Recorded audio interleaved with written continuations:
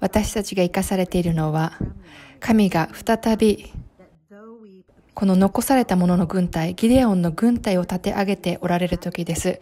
人数的には負けているように見えても、確かに勝利を得ていきます。その戦略というのは、ギデオンのそのストーリーにも現れています。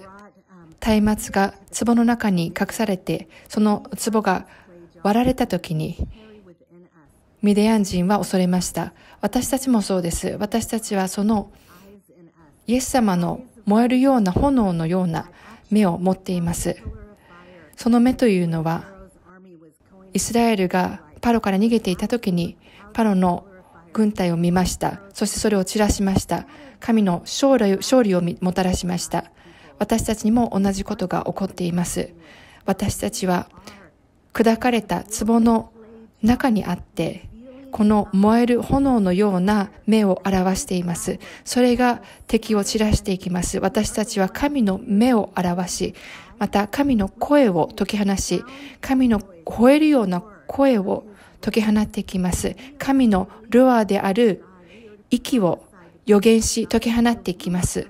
それが干からびた骨を立ち上がらせていきます。